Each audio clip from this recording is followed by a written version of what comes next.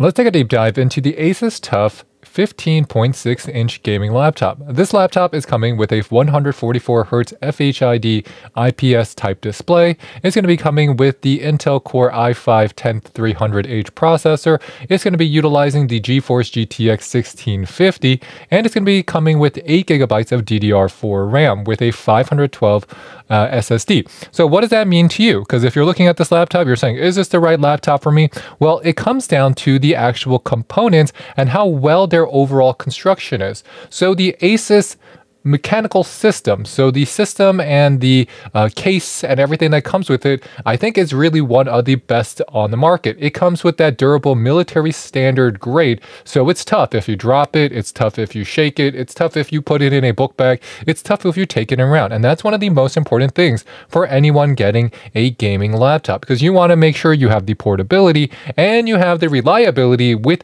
the usability all in case. Now it's coming with the 1654 gigabyte DDR DDR6 uh, graphics card from NVIDIA. And that graphics card is cooled by all of these different uh, fans here that you can regulate inside of what Asus calls the Armoury Crate. And you can see some of the details of me playing things like Grand Theft Auto, uh, watching the Avatar trailer, playing and it could do all this because it is really efficient at distributing that heat. And it is self-cleaning and you can adjust it in the Armoury crate. So you can go between performance, turbo, and different fan speed modes in case you want the laptop to be more quiet. It's also upgradable, so if I wanted to upgrade this to, you know, a faster um, SSD or I wanted to expand the SSD or the RAM, I can do that. And that is the tough laptop display, and this is what the actual graphics look like at 144 hertz refresh rate. So let's, let's look at some footage and see exactly what you think how this performs.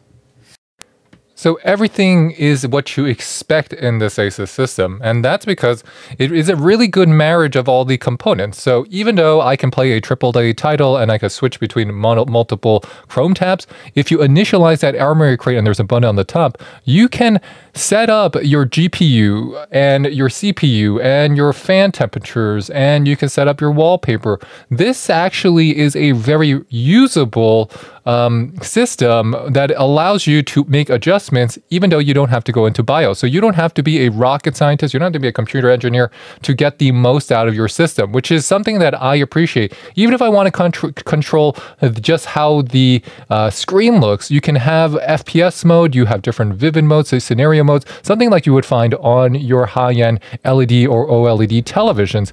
And if you're just scrolling the web, you can see how bright the color is even on a side view. The field of view is very good. So let's talk about the main point. It is a very affordable, very well constructed, very easy to use system. I highly recommend it. I think this is one of the best laptops you can get for your money. And this is why we chose to review it because it simply works. So this is David with the French Glow signing off. I'll catch you next time. Bye, bye, bye.